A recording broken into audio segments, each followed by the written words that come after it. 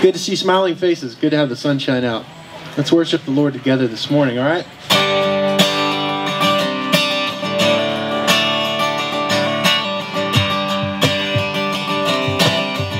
Let's sing. We stand and lift up our hands, for the joy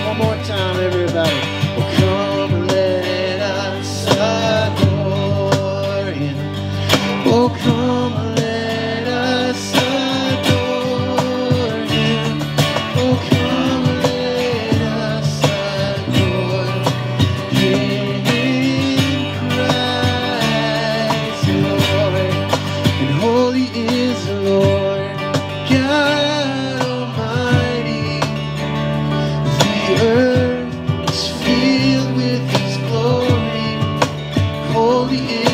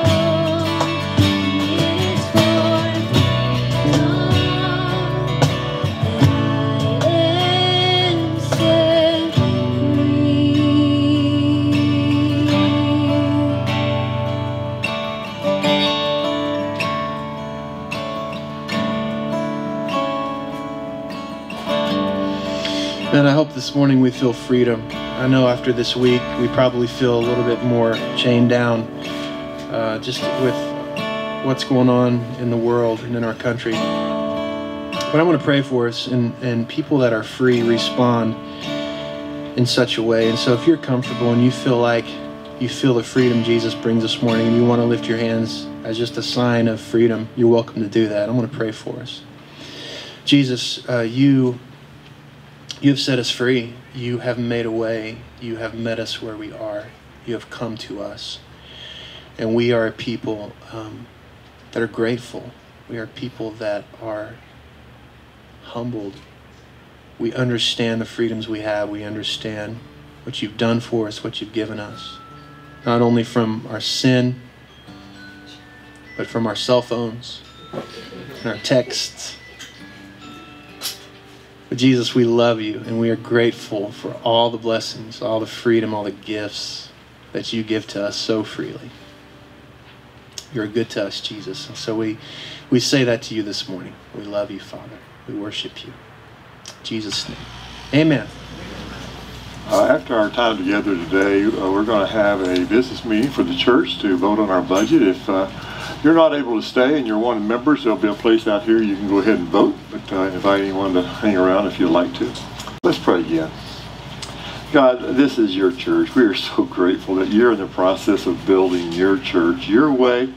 Thank you for these who have come up. Thank you for those who are listening to video, God. We we trust that this is going to be a special time because you are here. You said where two or three are gathered, you are right there in the midst of us. And so we want to yield our lives, our hearts, our minds, our very beings to you, thanking you that you are the great and sovereign God. In Jesus' name, amen. Well, I guess we kind of assumed that this stage would kind of come eventually with this pandemic where we start real strong and we're ready to climb the mountain, and then as time goes on, it gets a little harder and a little harder, a little harder. Obviously, we've had a lot of different restrictions that have come along that have kind of forced us to start thinking more about school and kids and jobs, etc., etc. But uh, I guess I kind of felt like, you know, after a little while, you know, okay, I think I'll take maybe a two week vacation from God and then it's three weeks, and then it's four weeks. And I don't know about you, but it just seems like it's getting harder and harder to kind of connect with God. And I, I can't help but think that there is a desire on the enemy's part to kind of shift us into neutral so that some point we'll just kind of have a spiritual failure.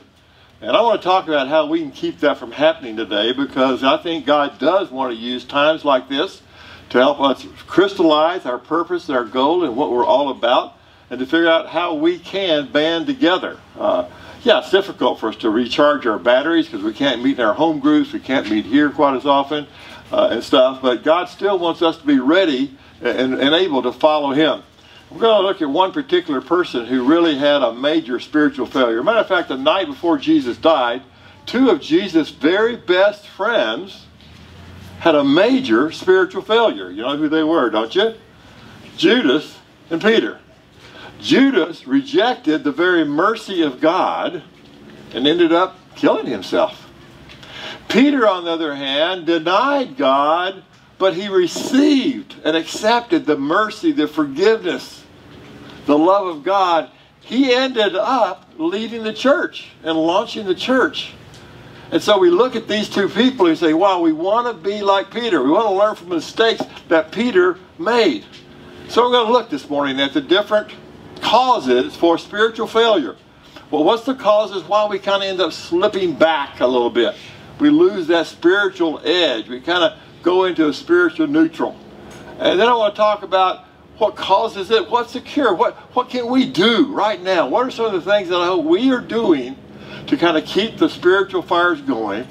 Then I want to close by talking about what Jesus does with us in a time when spiritual temptation, uh, spiritual failure is at the door. I hope it will be very encouraging for you.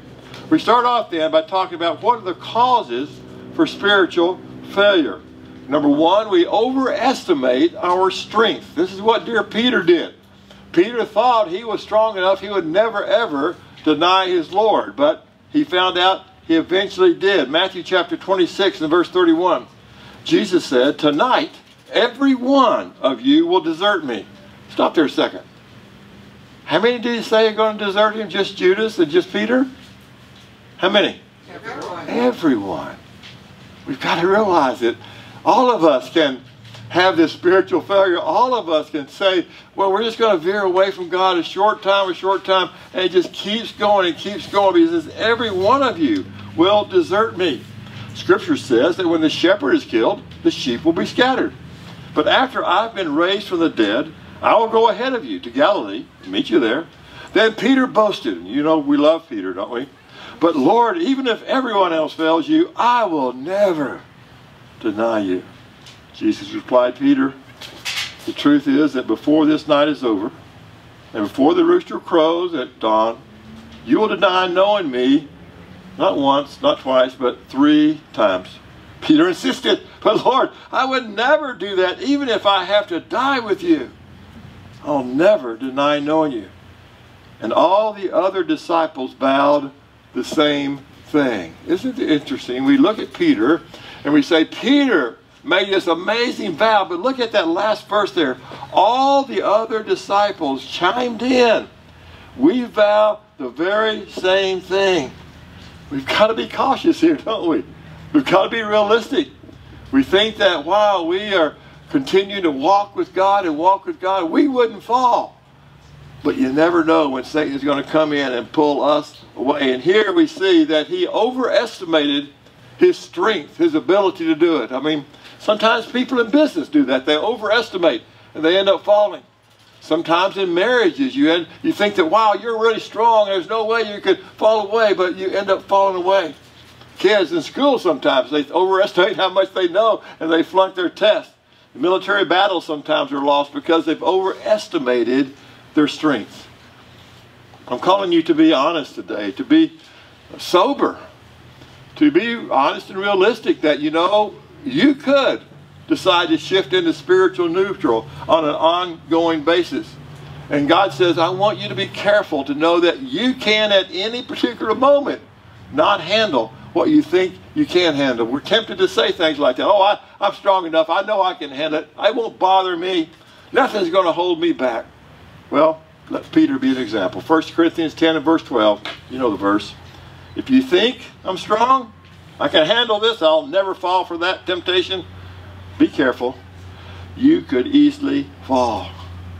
It's sad to hear the reports of some of our single adults who, as they go off to college and come back, have we thought they were very, very strong, but they are now admitting we're not as strong as we thought, and we're kind of drifting away from our faith. Satan is always knocking at the door, wanting to pull us back. And with the right circumstances, I think any of us would have to admit that we can fail. I don't think Peter woke up that morning and said, Oh, I'm going to go out and deny my Lord. It just happened. So I pray even today that as you're reflecting upon the Lord and reflect upon what He's doing in your life, that you too would be sober and realize don't overestimate even the long spiritual walk that you've had before. Be careful. The second cause of spiritual failure is we fear the disapproval of other people. We kind of go along to get along. I don't know about you, but there's times when I'm reluctant to admit that I'm a Christian to others because I don't want them to think bad things about me. And that's exactly what Peter fell into, didn't it? Matthew 26 and verse 58. Peter followed at a distance. Are you following Jesus at a distance? He followed Jesus at a distance to the courtyard of the high priest's palace. He went in, sat down with the guards to see what was going to happen to Jesus. He's kind of curious what's going to happen here. As he, Peter, was sitting in the courtyard, a servant girl came up to him and said, You, you were with Jesus of Galilee, weren't you? But standing there in front of everyone, that's the key, in front of everyone, Peter denied even knowing uh, what you're talking about, he said. I don't even know what you're talking about. I don't know if you can put yourself in Peter's shoes. He got to see Jesus do miracles. He got to hear Jesus teach like no one else had ever taught. He saw Jesus raise the dead. And yet, when he was tested in his faith, he too fell. So, number one today, just realize that, wow, it's possible for you, for me, to shift into spiritual neutral and fall away. If we start following at a distance, and I appreciate those of you who keep showing up for this, those of you who are listening to the video, those who are staying in the Word of God, don't follow at a distance. Stay close because we put one foot in the Christian world and one in the real world, and we're going to do splits, right? We're going to go. And God says, I want you to be careful. So we need to pause if we're going to be careful that we don't have a spiritual failure and ask ourselves honestly, whose opinion is it that I honor even above what God says? We all have people that we want to like us, to approve of us. And it's important for us to identify who are those people, those things that end up kind of becoming an idol, really, in our lives. Be honest with yourself. Why, why is it that I sometimes cringe at criticism? Well, why, eh, what is it? What is it that sometimes I'm, my stomach turns when somebody disagrees with me? It's really kind of going back to that root rejection that probably all of us had at some point in our lives. We're just always afraid that's going to happen again. So we need people to like us. And that is one of the causes that we can have spiritual failure. We begin to seek other people's approval rather than God's. Proverbs 29 and verse 25, look at the way he states it. It's a dangerous trap to be concerned with what others think of you. But if you trust the Lord, you'll be safe. I probably ought to stop here and just take a vote. How many of us would say there really are some other people's opinions out there that really have a pretty major influence on my life? Anybody willing to kind of just be honest there, you know? Yeah. Yeah. It's just normal. And we ought to respect them. We ought to love them. But I imagine each of us are going to be called upon in this time period to at some point choose God rather than what they're saying. And that's going to be the real test.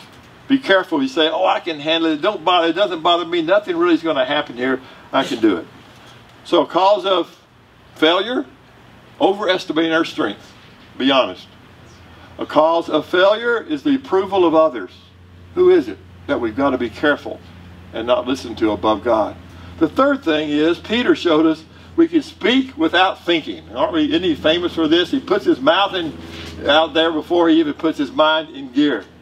He says, you know, I'm just going to express my feelings. That's a sign, a mark of a real strong person. No, that's a small, mark of an immature person. We, we shouldn't be speaking without knowing what we're wanting to say. We had a great time over Thanksgiving, and my wife put in a lot of work putting it together. And on the way home, I made a comment. I think, I can't believe I said it. You know, I just wanted to kind of say a little joke. I said, wow. And I mean, I absolutely did nothing, okay? You got to get that clear, really. Zip. Zero, nothing. I did nothing, but I made the little comment, well, I'm just glad everything I put together here came out good. I'm glad she didn't laugh. She didn't respond. She didn't hit me either. I mean, I have to, have to give her credit. But, but I thought about that day after day. I thought, why in the world would I say something like that? It doesn't make sense. But that's the way that we can begin that spiritual fall, begin walking away. And that's what happens. The little girl comes up to Peter in verse 71 of chapter 26 of Matthew. Then Peter went out to the entrance of the courtyard, and there another woman saw him and said to those standing there, This man was with Jesus of Nazareth. Again, Peter denied it.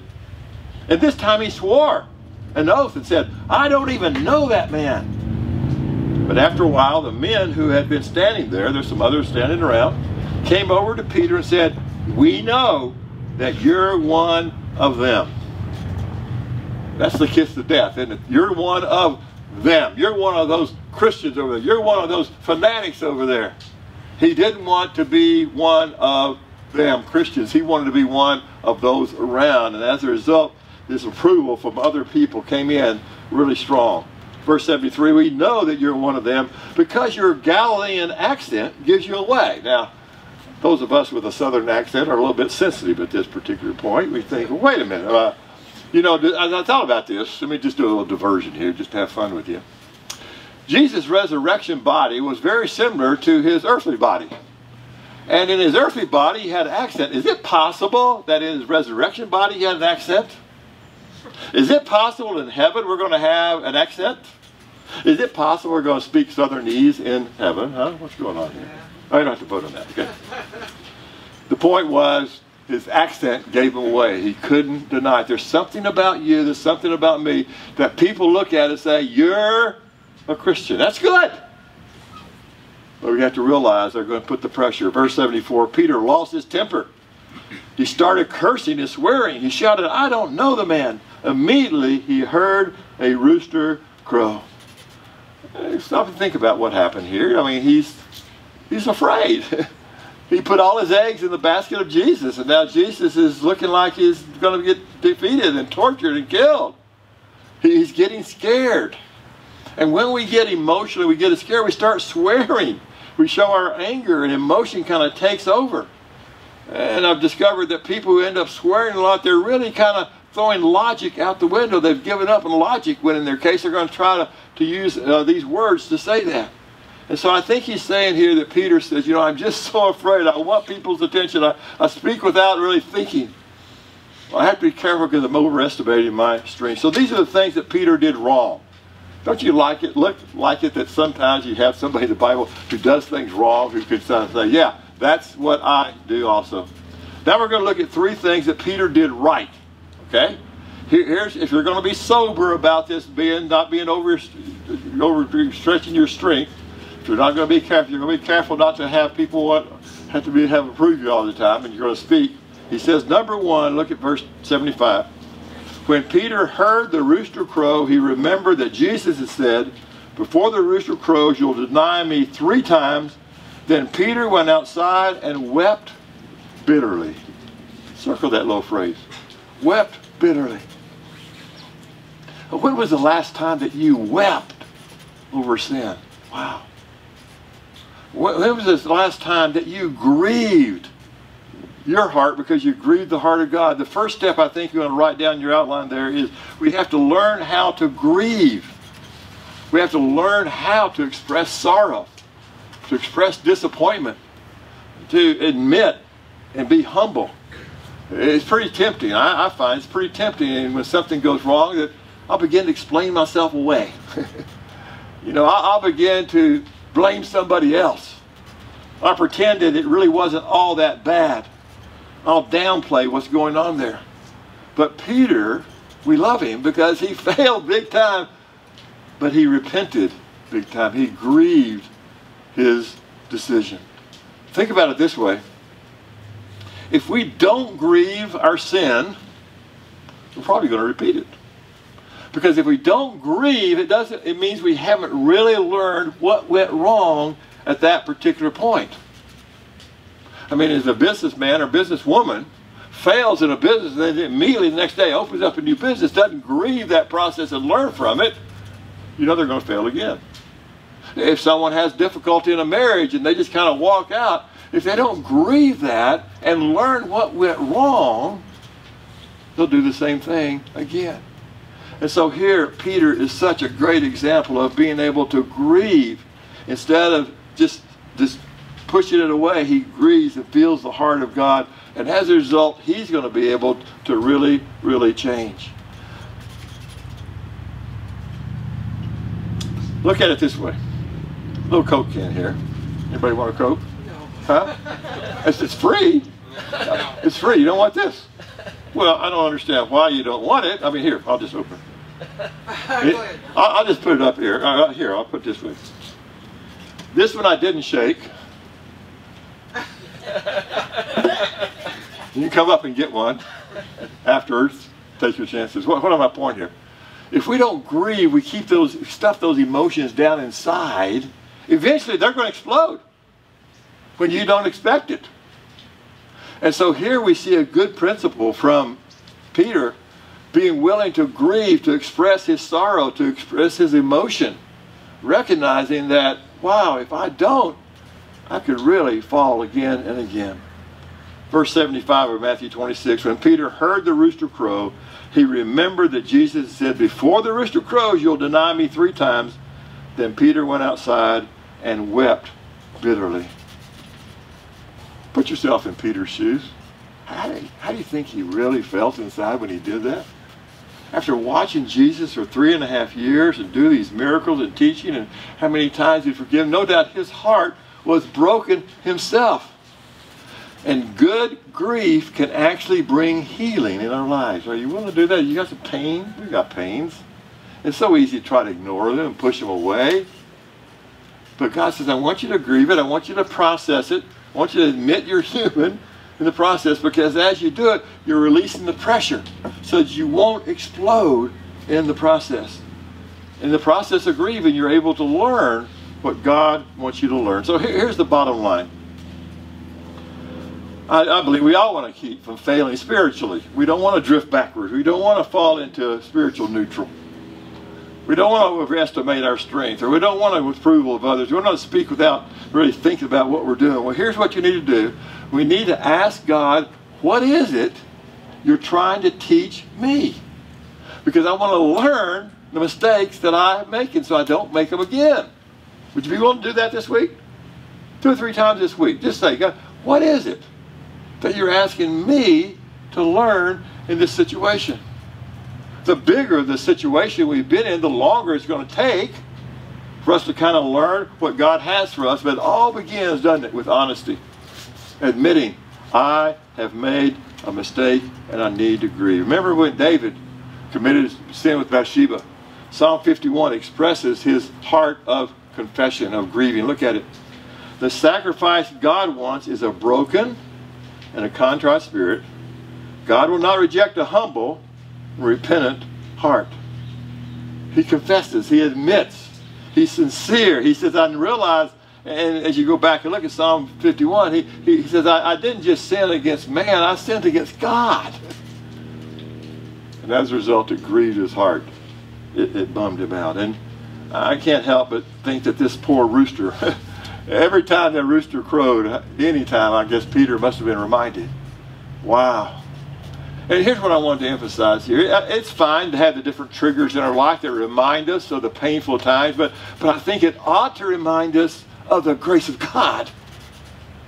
That's what you see in the life of Peter. The rooster was a sign that, yes, your Lord even predicted this is going to happen. And now, woo, my goodness. Did I offend one back over there somewhere? oh, God has a sense of humor, doesn't he? The second, we'll just pause and let the rooster sing. For those in the movie, you can hear there's a rooster back here crowing. So, uh, first thing, then, we need to learn to grieve. Okay? This is a hard time we're going through. We have to admit it. It's tough. And, and we need to process that. Writing journals or talking or, or whatever. One of the reasons I find it so difficult uh, not getting together is we don't have someone to process with. Process. I'm just amazed how many of the small groups continue to meet together because they want to process the agony of these days. Second thing I want you to see that Peter does though, and we're having a hard time doing this right now, but we've got to keep it on the front burner. He let his home group support him. Jesus formed a home group when he started the ministry, right? That's one of the first things he did. Why do you think Jesus did that? Because he knew. This guy's having fun out there. Isn't he? he knew there's going to be difficult days that are coming. And he formed friendships with those who could help him. Look at Matthew, Mark 16 verse 10. Mary Magdalene went and found the disciples, this is after Christ's death, together grieving and weeping. Love it. Love it. They- that grieving and weeping, they met, continue to meet together. It's tempting, isn't it? Just to isolate ourselves. We're kind of forced to do it in some ways, the culture of culture. Just insulate ourselves. We need help from other people. Now, there's temptations with some areas that we fail in. You know, if we go through a bankruptcy or there's abortion or there's some kind of failed marriage that we feel bad about, we don't want to share with people, but that's the ones we need to share because that's when we need the support from those around us. Mark 16 and verse 10. Mary Magdalene went and found the disciples together, grieving and weeping together. Look at John 20, verse 19. That evening, the disciples were together. There they are again. With the doors locked for the fear of the Jewish leaders, suddenly Jesus appeared in the middle of the group and said, Peace be with you. The disciples were filled with joy when they saw the Lord. That was their recourse, to be together, to be able to share their hearts. I don't know about you. I, I've been in home groups, small groups for decades. Now, I've never had Jesus appear physically in one, but I've had his voice come clear in many of them as somebody in the group was sharing, as somebody read a Bible verse, as somebody had an answer to prayer. It was as if God himself was talking directly to me. So I don't know how you do it. I'm finding right now a lot of our groups aren't feeling comfortable meeting together, but still individually people are meeting together. So whatever it takes, whatever you feel comfortable with, we need to try to do it. I never thought about this before, but you know that God promises to come to your home group. You say, wow, there's just two of us. You know the verse, don't you? Matthew 18 and verse 20. Where two or three are gathered in my name, I will be there in the midst of them.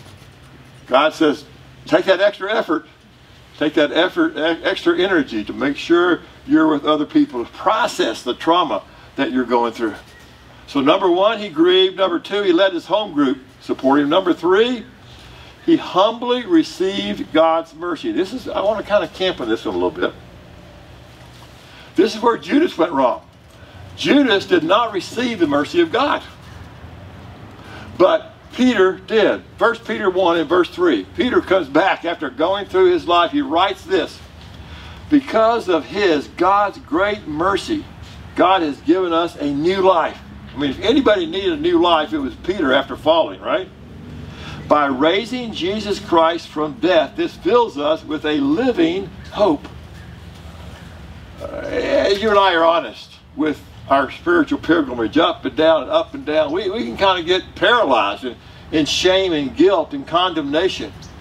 I think God wants us at a time like this, right now, to dwell on the mercy, the grace, the forgiveness of God. And also receive God's mercy, we have to let go of some of that pain to be able to get it. God says, I want you now to receive the blessings of God, the mercy of God. And you say, well, I don't deserve it. You're right. I don't deserve it either. And that's the reason we love Jesus, because he is merciful. He shuts Satan's voice of accusation down when we receive the mercy of God. The final question I want to answer is what does God do when I fail? What does God do when I slip into spiritual neutral? I'm not trying to follow, when I'm not following quite as much as I really think I should. Luke 22 and verse 30 is really interesting. Simon, Simon, Peter's name before, Satan has asked to sift you like wheat.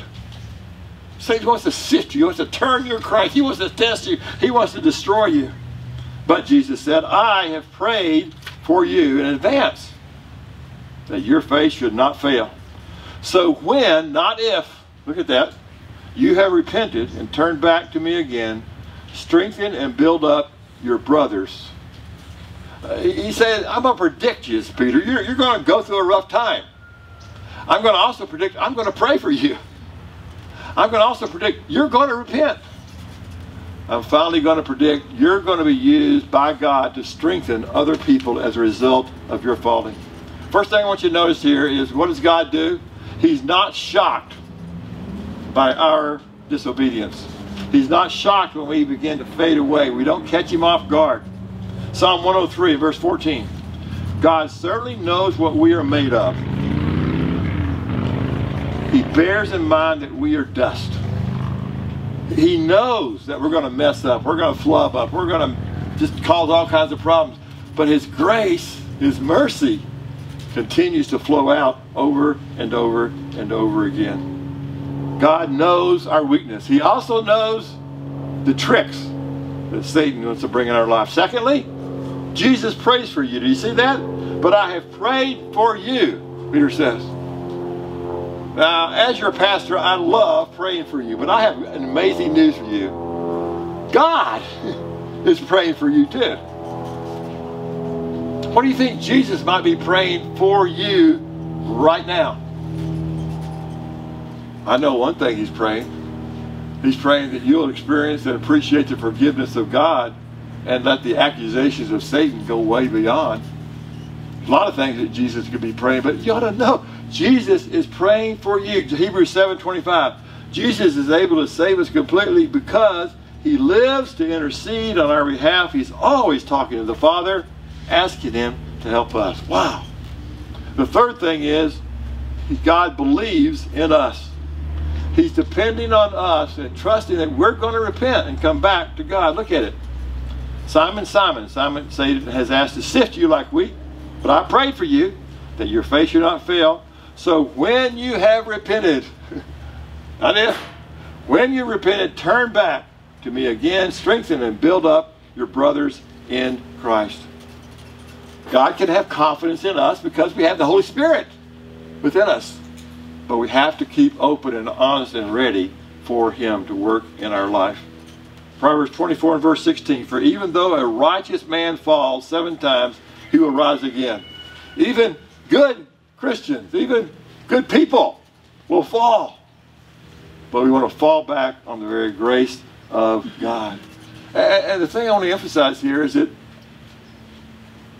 it's not just one big package of mercy that God gives us.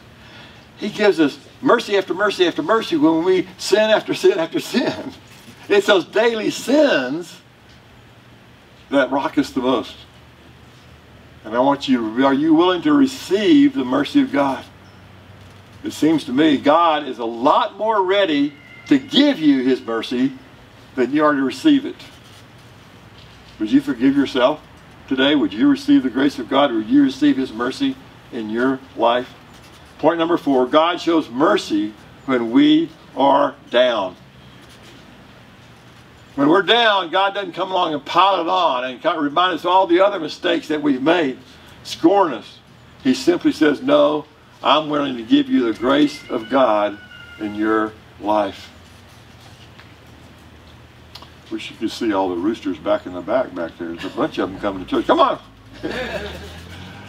uh, you ever had somebody betray you? Yeah, you have. And, then how did you respond to that person? Can you imagine doing what Jesus did with Peter? Peter denied Jesus in his moment he really needed him. But we learn in John chapter 20 that 21 that when Jesus comes back, he sees the disciples out trying to catch some fish, and they caught no fish at all. And instead of being mean, said, "Ah, that deserves it. You shouldn't do it. You resisted me." He does a miracle. You remember? Throw your nets on the other side. They catch 153 fish. And then John 21 says, Jesus now said, Now come and have some breakfast. Jesus said, Now they were sure it really was the Lord Jesus served them bread, bread and the fish.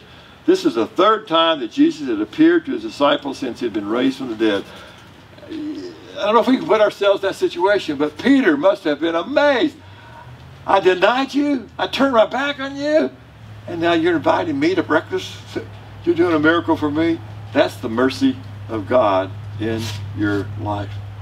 Lamentations 3 and verse 22. The steadfast love of the Lord never ceases. His mercies never come to an end. They're new every morning. God doesn't say, I'm tired of Marshall sinning. God doesn't say, I've had enough of all his failures. God doesn't say, I'm not going to work with him any longer. He's merciful. And he wants to keep working with us at all times. The final point here I want to let you see is that God uses our spiritual failures to build his church. This is, this is amazing. Peter blew it, but God uses him to build the church. Luke 22 and verse 32. When you have returned back to me, strengthen and build up your brothers. The brothers are the church. God wants to use your failures and my failures to build up other people. Isn't that just amazing?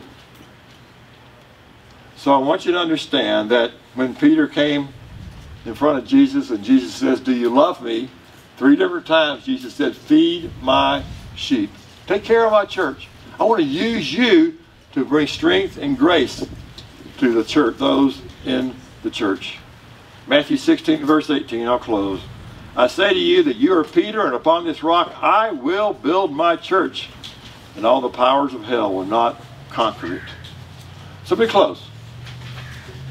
Are you responding like Judas? Are you rejecting the mercy of God? Are you aware, like Peter, as bad as he fell, he received the grace, the mercy of God? Think about the contrast. Judas broke down, Jesus broke through. That's what we want to do.